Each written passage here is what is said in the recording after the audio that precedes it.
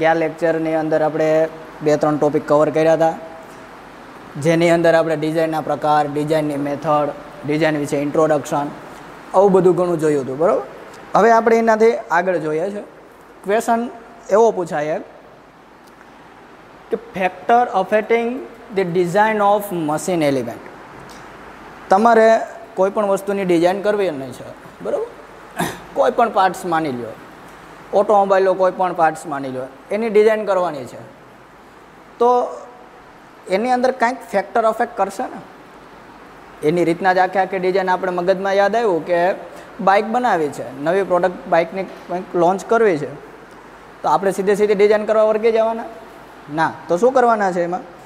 કે એને કંઈક અસર કરશે પરિબળ.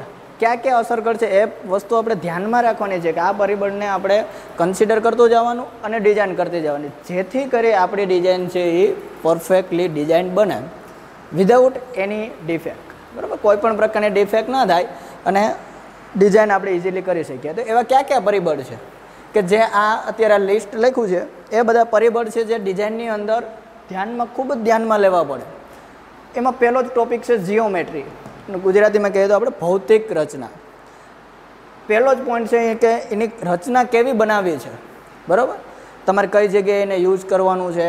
લોકેશન શું છે? આપણે ભાર માટે બાઇક બનાવવાનું છે? રેસિંગ માટે બાઇક બનાવવાનું છે? કઈ જગ્યાએ રોડની કન્ડિશન કેવી છે? એ બધી વસ્તુ એની ભૌતિક રચના એ પ્રમાણે બનાવવી પડે. મતલબ કે પહેલો પોઈન્ટ છે એનો જીઓમેટ્રિક સેકન્ડ છે ટાઈપ્સ ઓફ લોડ એના ઉપર કેવા પ્રકારનો લોડ લાગશે? લોડના ઘણા બધા પ્રકાર હોય. ખ્યાલ જ હશે આપણે કે ઇમ્પેક્ટ લોડ છે ટ્વિસ્ટિંગ લોડ છે, બરાબર? વેરિયેબલ લોડ છે. આ બધા લોડ જે છે એ પણ ઘણી બધી ઇફેક્ટ કરતા હોય છે કે કયા પ્રકારનો લોડ લાગે, એના આધારે પણ તમારે ડિઝાઇન કરવાની હોય છે. ઇમ્પોર્ટન્ટ બીજો પોઈન્ટ છે સિલેક્શન ઓફ મટીરિયલ આ મટીરિયલ જે છે, એ પોઈન્ટ ખાસ ડિઝાઇનની અંદર બહુ ઇફેક્ટ કરે. એના માટે કેમ? સિલેક્શન ઓફ મટીરિયલ જ. એટલે ખ્યાલ છે, તમે કોઈ પણ પ્રોડક્ટની ડિઝાઇન બનાવી, એની અંદર મટીરિયલ યુઝ કર્યું, પણ એ જ મટીરિયલ ઇઝીલી તમને અવેલેબલ ના હોય, તમારા વર્કિંગ એરિયાની આજુબાજુ અવેલેબલ ના હોય, તો શું કરવું પડે તમારે? માર્કેટમાંથી લઈ આવવું પડે. તો માર્કેટમાંથી લેવા જાય, અથવા તો બીજા વિદેશમાંથી પરચેસ કરીને મગાવો મટીરિયલ તેની કોસ્ટ વધી જવાની છે. ટ્રાવેલિંગ કોસ્ટ ઘણી બધી થઈ જવાની છે. તો એ બધી કોસ્ટ છે એટલે એડ કેમાં થવાની છે તમારી પ્રોડક્ટમાં એટલે ફાઇનલી તમારી જે પ્રોડક્ટ છે એની કોસ્ટ વધી જવાની છે. પણ તમે એવું મટીરિયલ સિલેક્ટ કરો કે જે ઇઝીલી અવેલેબલ હોય. તમે આરામથી તમારી નજીક વર્કિંગ એરિયાની અંદર મળી રહેતું હોય. તો તમારે ટ્રાવેલિંગ કોસ્ટથી માંડીને સ્ટોરેજની કોસ્ટ વગેરે ઘણી બધી કોસ્ટ તમે ઘટાડી શકો. જેને લીધે ફાઇનલી તમારી જે મોડલની ડિઝાઇન બનવાની છે, એની શું કરી શકો તમે? કોસ્ટ ઘટી જાય કોસ્ટ ઘટે એટલે ઓબ્વિયસ છે કે તમારી ડિઝાઇનની અંદર ઘણો બધો ફેરફાર થઈ શકે, બરાબર? સેલિંગમાં પણ ઘણો બધો ફાયદો થાય. એના પછીનો પોઈન્ટ છે પ્રોડક્શન ફેસિલિટીઝ સેમ મટીરિયલની જેમ કે તમારી આજુબાજુ એનું પ્રોડક્શન કરવાની પ્રોડક્શન કરવાની મતલબ કે એનું મેન્યુફેક્ચરિંગ કરવાની. પ્રોડક્શનની ફેસિલિટી મતલબ કે કેની ફેસિલિટી મેન્યુફેક્ચરિંગની તમારું મેન્યુફેક્ચરિંગ આની અંદર જે મેન્યુફેક્ચરિંગ આપણે કરતા હોય બરાબર, આખું. એ મેન્યુફેક્ચરિંગ જે છે, એ નજીક તમારા એરિયાની અંદર મળી રહેવું જોઈએ. બરાબર? મેન્યુફેક્ચરિંગ નજીકથી મળી રહેવું જોઈએ. બાકી મેન્યુફેક્ચરિંગ કરવા માટે તમારે બીજી કંપનીની કોઈ સહાય લેવી પડતી હોય, બીજા મશીનરી બહારથી મગાવવા પડતા હોય, તો એ પણ કાંઈક ને કાંઈક તમારી કોસ્ટની અંદર વધારો કરવાના છે. એટલે વર્કશોપ ફેસિલિટી છે, આની અંદર બીજું શું આવે છે તમારું? વર્કશોપ ફેસિલિટી બરાબર? આ પણ તમારી નજીક હોય છે. એને પણ તમારે ધ્યાનમાં રાખવાનું છે. આ બધું શું છે કે તમારે કયા ફેક્ટર અફેક્ટ કરે છે તમારી ડિઝાઇનને ધ્યાનમાં રાખવું બરાબર? ડિઝાઇન બનાવવા માટે. બીજું છે યુઝ સ્ટાન્ડર્ડ પાર્ટ્સ આ એટલા માટે કે મેન્ટેનન્સ માટે આ ઉપયોગી છે. આ મેન ખાસ પોઈન્ટ કેમાં ઉપયોગી છે? મેન્ટેનન્સ માટે. તમે સ્ટાન્ડર્ડ પાર્ટ્સ ના વાપરો તો શું થવાનું છે? લોકલ પાર્ટ્સ હોય તો ક્યાંય ઇઝીલી અવેલેબલ ન મળતા હોય. તો સેકન્ડ ટાઈમ તમારે જે પ્રોડક્ટ છે સેલ નથી થવાની. એવું એકાદ હું એક્ઝામ્પલ લઈશ તો તમને ખ્યાલ આવશે. આપણે મિકેનિકલ ઓટોમોબાઈલ દર વખતે એક્ઝામ્પલ લઈએ છીએ. બાઇકની અંદર તમે જે વ્હીલ હોય છે, એના ટાયર બરાબર? આપણે કહીએ છીએ ઓબ્વિયસ છે કે લાઈફ ટાઈમ તો નથી ચાલવાના. એની અંદર ક્યારેક ડિફેક્ટ આવશે. હવે એ ડિફેક્ટ આવશે, તમારે ચેન્જ કરવું હોય, તો માર્કેટની અંદર ગમે ત્યાંથી તમારું બાઇકનું ટાયર છે એ મળી રહેવું જોઈએ. એ સાઇઝનું એ જ ડાયામીટરનું જો એ ટાયર મળી રહે તો તમે ઇઝીલી એને શું કરી શકો? ચેન્જ કરી શકો ફ્લેક્સિબિલિટી એસેમ્બલી કરી કરી શકો. પણ જે સ્ટાન્ડર્ડ ના બનાવ્યું હોય તો તો બીજી પ્રોડક્ટ કંપની છે, એ તમારે પાર્ટ્સને લગતું રિલેટેડ ટાયર બનાવવાની નથી. તો તમારે કોઈ પણ જે કસ્ટમર છે, એને નથી મળવાનું. ગ્રાહકને એ પ્રોડક્ટની જે એલિમેન્ટ્સ આપણે જે કહીએ છીએ ટાયર જે છે, એ મળવાનું નથી. તો શું થવાનું છે? એને તમારી જ કંપની પાસે લેવા આવવાનું છે.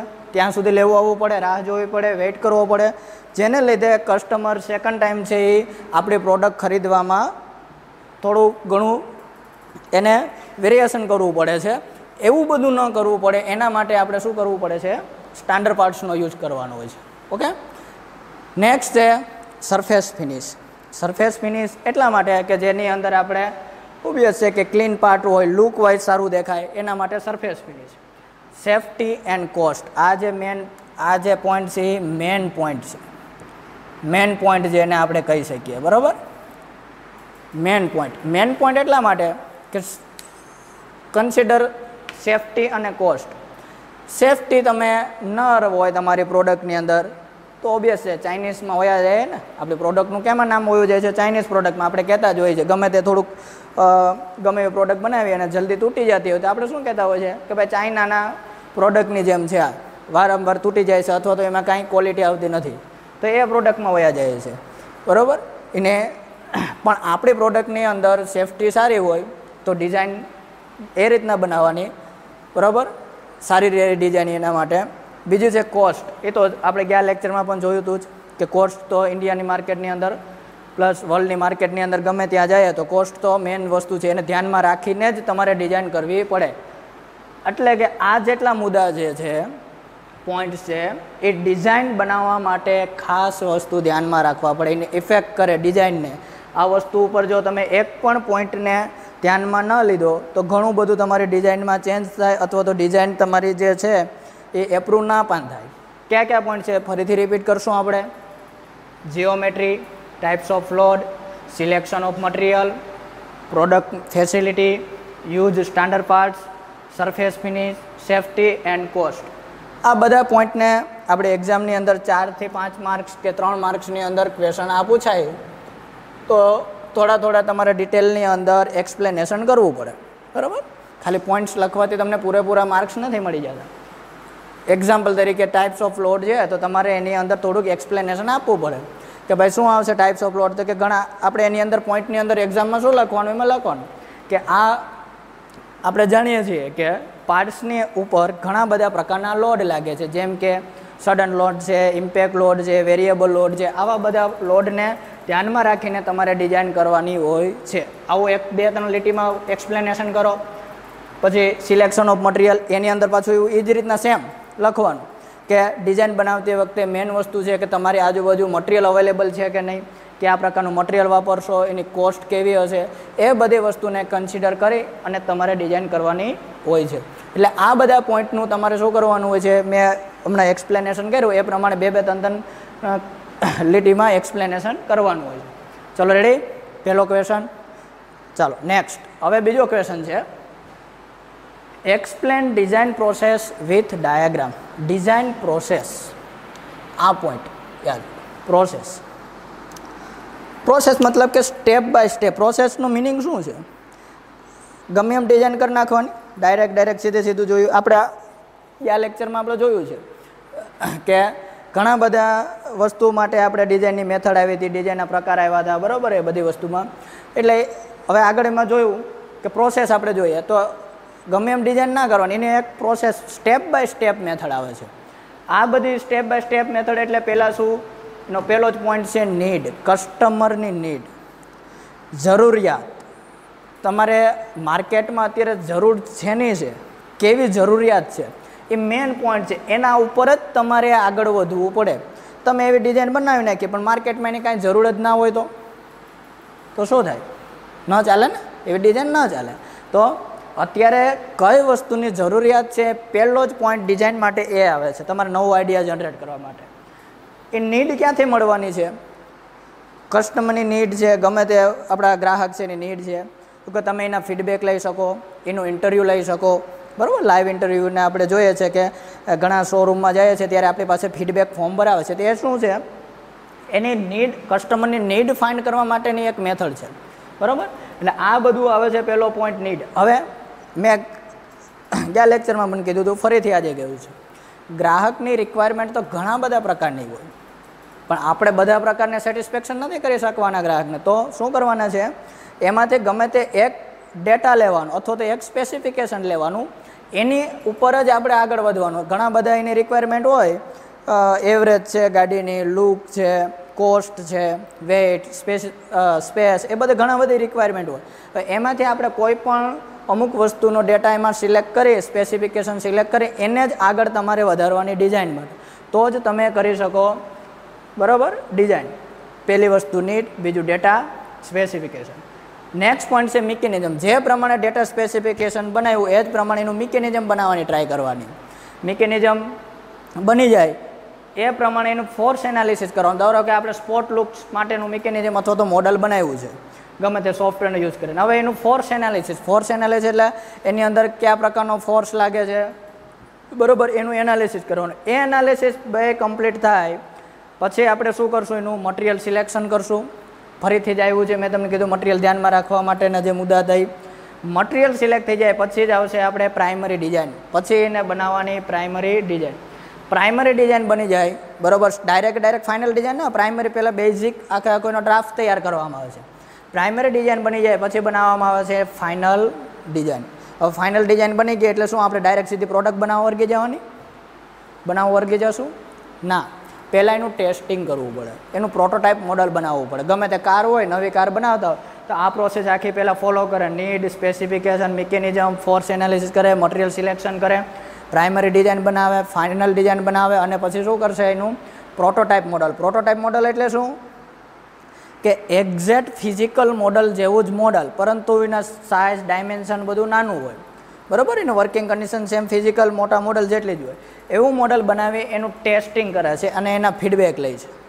જો એ ફીડબેકની અંદર કાંઈ પણ ફેરફાર આવે ટેસ્ટિંગ અથવા તો ઇન્સ્પેક્શનમાં કાંઈ પણ એનો પ્રોબ્લેમ આવે, ફરીથી આની અંદર જે છે મિકેનિઝમની અંદર ચેન્જ કરવામાં આવે છે. ફરીથીનું ફોર્સ એનાલિસિસ અલગ કરી એડિટિંગ કરી ડાયમેન્શન ને મિકેનિઝમ બધું ફરીથી આ પ્રોસેસ અનુસરવામાં આવે. ફરીથી પાછું પ્રોટોટાઇપ મોડલ બને, ફરીથી ઇન્સ્પેક્શન થાય. જો કમ્પ્લીટ બને ઇન્સ્પેક્શન ને બધું કમ્પ્લીટ હોય, તો એનું ફરીથી શું બનાવવામાં આવે છે ફાઇનલ પ્રોડક્ટ બરાબર? રેડી ફાઇનલ પ્રોડક્ટ હવે ફાઇનલ પ્રોડક્ટ બની જાય પછી પણ ઘણા બધા ફેરફાર આવે જ છે ને આપણે જોઈએ છે કે ફાઇનલ ગમે તે કંપનીનું મોડલ બની ગયું હોય, તો અમુક સમયનું અપડેટ વર્ઝન આવતું હોય. તો અપડેટ વર્ઝન આવે મતલબ શું? કે થોડો થોડો એમાં ફેરફાર આવતો છે મોબાઈલની અંદર પણ આપણે જોઈએ છે. ઇવન કે આપણે સોશિયલ મીડિયાની અંદર જોઈએ કે વોટ્સએપ છે, તો પહેલાં સ્ટાર્ટિંગની અંદર, એની અંદર ખાલી સામાન્ય બધું એવું મેસેજ ને એવું બધું સેન્ડ કરતા ને એવું બધું. ધીમે ધીમે એમાં કેમ અપડેશન આવતું ગયું? એટલે એની જેમ ફાઇનલ પ્રોડક્ટ બની જાય, એટલે અહીંથી પ્રોડક્ટનું કામ પૂરું થઈ જાય એવું નથી કંપનીનું આની અંદરથી પણ એના ફરીથી ફીડબેક લે અને કાંઈક પણ ચેન્જ લાગે તો ફરીથી એમાં મટીરિયલ પણ ચેન્જ કરતા હોય છે મિકેનિઝમ ચેન્જ કરે, ફરીથી આખી પ્રોસેસ ચેન્જ કરે અને ફાઇનલ પ્રોડક્ટ છે કન્ટિન્યુ અપડેશન કરતા હોય છે. મતલબ કે ડિઝાઇન પ્રોસેસ ફરીથી આખો ક્વેશ્ચન રિપીટ કરાવવું કઈ રીતના થાય? પેલા આખો ડાયાગ્રામ કેમ બને? Need કસ્ટમરની data specification mechanism force analysis material selection primary design એના પછી ફાઇનલ ડિઝાઇન પ્રોટોટાઇપ પ્રોડક્ટ અને ફાઇનલ પ્રોડક્ટ આ બધા ફીડબેક ખાસ ધ્યાન રાખવાના. હવે એક્ઝામમાં પૂછાય ત્યારે આ બધા જે પોઈન્ટ છે એ બધાને તમારે એક્સપ્લેન કરવા પડે. નીડ છે સ્પેસિફિકેશન છે. બરાબર? આ બધા પોઈન્ટને મેં અત્યારે એક્સપ્લેનેશન તમને જે કરીને સમજાવ્યું, એ બધા એક્સપ્લેનેશનને બે બે ત્રણ ત્રણ સેન્ટેન્સમાં વાક્યમાં તમારે શું કરવું પડે છે? એક્સપ્લેનેશન કરવું પડે.